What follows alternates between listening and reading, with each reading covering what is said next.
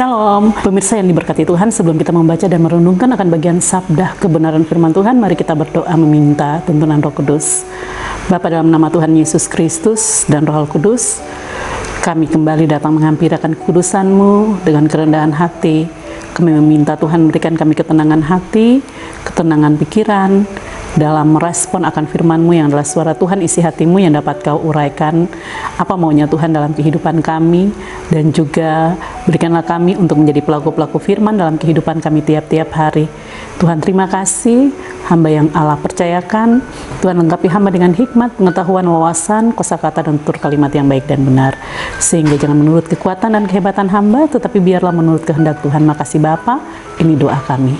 Amin Pembacaan firman Tuhan terambil dari kitab Ayub pasal 42 ayatnya yang ke-10 mengatakan kepada kita lalu Tuhan memulihkan keadaan Ayub setelah ia meminta doa untuk sahabat-sahabatnya dan Tuhan memberikan kepada Ayub dua kali lipat dari segala kepunyaannya dahulu. Pemirsa yang diberkati Tuhan, dari pembacaan firman Tuhan diberikan tema untuk kita ada dalam satu perenungan hidup yang dipulihkan.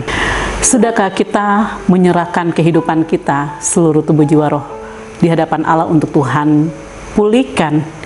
Mengapa kita harus meminta pemulihan di hadapan Tuhan?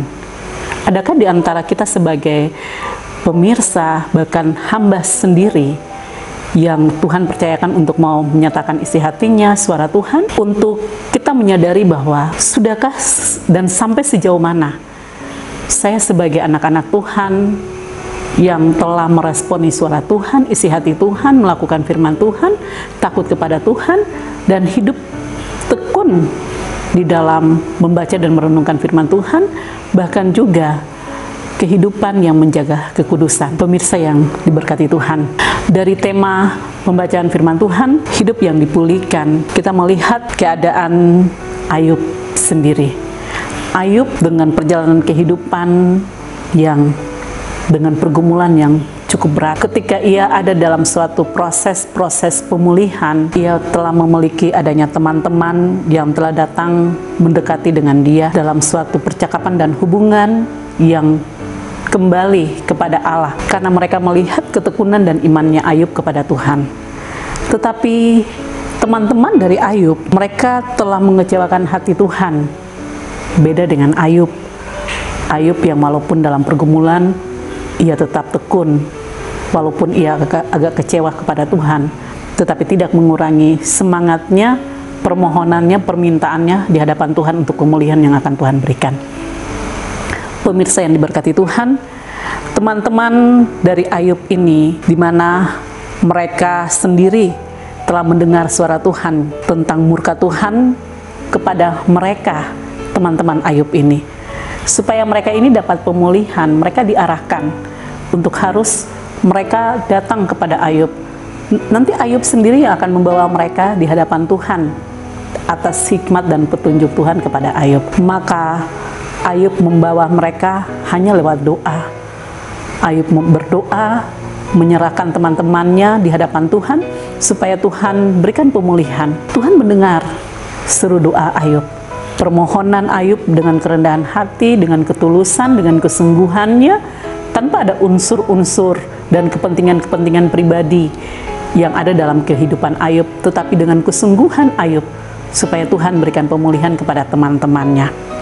Pemirsa yang diberkati Tuhan, pergumulan Ayub telah memberikan pemulihan kepada teman-temannya dan juga Tuhan telah memulihkan keadaan Ayub ketika atau setelah ia meminta doa untuk sahabat-sahabat sahabatnya dan Tuhan memberikan kepada Ayub dua kali lipat dari segala kepunyaannya dahulu. Semua yang hilang dari kehidupan Ayub berdasarkan tantangan, cobaan yang datang silih berganti dengan kesakitan yang cukup berat Ayub gemuli dengan proses waktu yang Tuhan bentuk dan melihat ketekunan Ayub tapi Ayub tetap datang kepada Tuhan itulah suatu bukti iman yang murni yang mengandalkan Tuhan dengan tanpa bimbang, tanpa ragu, tanpa putus asa, maka marilah kita datang kepada Tuhan. Carilah dahulu kerajaan Allah dan kebenarannya, maka semuanya itu akan ditambahkan kepadamu.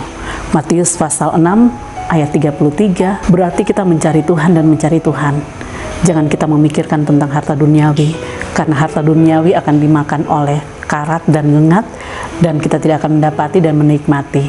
Tetapi ketika kita mencari harta surgawi, itu tetap menjadi suatu harta keabadian yang akan kita rasakan. Hidup dalam kenyamanan, ketenangan, kebahagiaan, sukacita, dan kesejahteraan.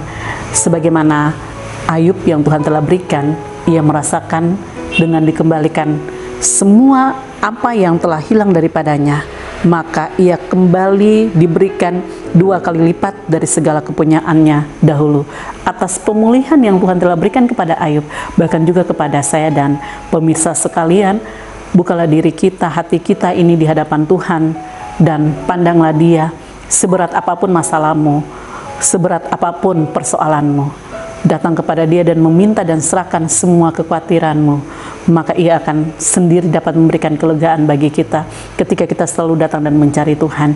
Jangan kita mengukur-ukur kehadiran kita di hadapan Tuhan dan kita banyak mempertimbangkan karena itu semuanya akan menjadi sia-sia. Dan tidak ada pemulihan yang akan kita rasakan. Pemulihan secara jasmani dan secara rohani akan kita miliki Tuhan berikan dalam hidup saya dan pemirsa seperti Tuhan berikan kepada Ayub dan teman-temannya. Amin Mari kita satu dalam doa, kita berdoa.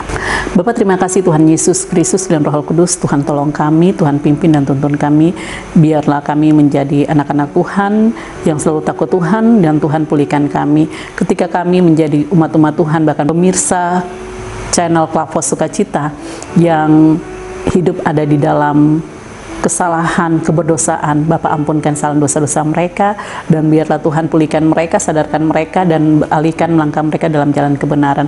Bapak terima kasih Tuhan Yesus Kristus dan Roh Kudus. Ini doa kami, ini syukur dan permohonan kami kami serahkan ke dalam tangan kasih-Mu. Haleluya. Amin. Shalom. Tuhan memberkati. Adik